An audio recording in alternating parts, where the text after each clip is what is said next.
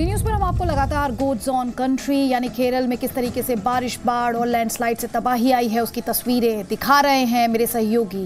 जयपाल शर्मा वहाँ पर पहुँचे हुए हैं, कोच्चि में मौजूद हैं और तस्वीर और हर खबर आप तक पहुँचाने की जी न्यूज़ की एक कोशिश है। सीधे उन्हीं का रुख करते हैं। जयपाल, एक घंटा पहले हमारी बात हुई थी, आपने कहा था बारिश से थोड़ी राहत मिली है। इस समय राहत और बचाव का काम कितना आगे बढ़ा है? क्या हालात हैं? क्या कोई सुकून मिल पाया है पिछले एक घंटे में?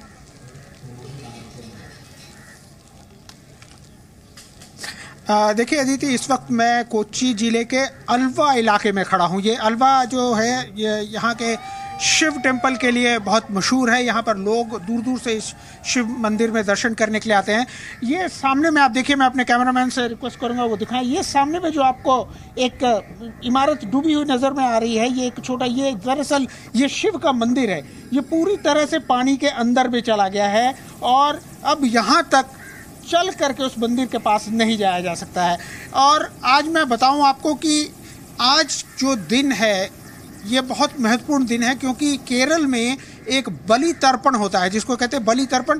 बिल्कुल वैसे ही जैसे नॉर्थ में पितृ तर्पण किया जाता है पितृपक्ष के दौरान। आज वो दिन है और अमूमन इस कार्य के लिए लोग केरल में या जो लोग केरल के बाहर रहते हैं, वो अपने पितरों का तर्पण करने के लिए यहाँ पर आते हैं। और आज वो दिन है, और अमूमन ये पूजा जो है, ये सामने जो आता बना आपको इमारत नज़र आ रही है, इस जगह पर होती है। लेकिन आज वो वहाँ नहीं हो रही, क्योंकि ये पूरा इलाका पानी से भरा हुआ है और ये पूरी पूजा आज जो है सड़कों पे की जा रही है हम अभी आ रहे थे हमने देखा कि दोनों तरफ़ सड़कों के तरफ़ जो ऐसे लोग थे जो अपने पितरों का तर्पण करने के लिए आए हुए थे वो आए हुए थे और पंडित बैठ करके वहाँ पर पूजा करा रहे थे जहाँ तक मैंने बताया था सुबह में कि पानी बारिश नहीं होना एक बहुत बड़ी राहत है तो वाकई ये काफ़ी राहत की बात है क्योंकि अभी आप देखिए मैं इस जगह पे जहाँ पर खड़ा हूँ हम्म। कल शाम तक यहाँ पर पानी इस जगह तक था हम्म। लेकिन बारिश बंद होने के बाद पानी नीचे की तरफ़ गया है और हम्म। यही बात अभी थोड़ी देर पहले डीजी के जो हैं फायर एंड रेस्क्यू सर्विसेज़ के हेमचंद्रन साहब उनसे हमारी बात हुई। उन्होंने भी बताया कि जब पानी बंद होने के बाद काफ़ी राहत हुई है लेकिन फिर भी जो एक अलर्ट है वो पूरी तरह से है और उन्होंने कहा कि जो उनसे जहाँ तक केरल सरकार ने अपनी तरफ़ से कोशिशें की आर्मी की मदद ली नेवी को पूरी तरह से अलर्ट पे रखा इस पूरे दौरान लगभग पचपन से साठ हज़ार लोगों को अब तक वो रेस्क्यू कर पाए हैं जगह जगह और अभी भी वो काम जारी है। मैं आपको मैं बीच में इंटरप्ट कर रही हूँ। आप आप कोची के जोन में खड़े हुए हैं। मैं आपसे जानना चाहती हूँ इडुकी जिसे कहा जा रहा है सबसे ज़्यादा वर्स्ट अफेक्टेड है उसको लेकर किस तरह का अपडेट आपके पास है? चाहे वो राहत बचाव से जुड़ा हो लोगों को इवैक्यूएट करने से जुड़ा हो क्या जानकारी है आपके पास? क्या वहाँ पर भी बारिश रुक गई है? वहाँ पर किस तरीके के हालात है?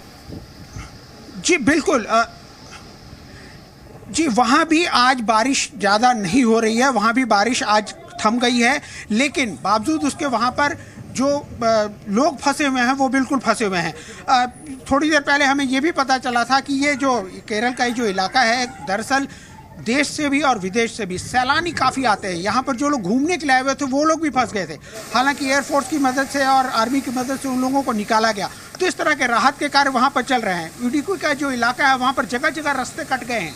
वहाँ पर जाने के लिए जगह नहीं है। हम्म, ऐसे हम्म। में आर्मी अपनी तरफ़ से प्रयास करके जो जगह बना रही है लोगों को निकालने का काम कर रही है। कई ऐसे इलाके हैं जहाँ पर जाने के लिए रास्ते नहीं है तो वहाँ पर रस्सी से लोगों को रेस्क्यू करके निकाला जा रहा है। तो काफ़ी दिक्कतें हो रही हैं जयपाल। आप भी एहतियात बरतिए आगे भी तस्वीरों के लिए और जानकारी के लिए आपके पास आते रहेंगे और हमें और आपको शायद सभी को दुआ करनी चाहिए। केरल में जो लोग इस समय फंसे हुए हैं, भूले नहीं, तीन दिन में उनतीस लोगों की जान चली गई।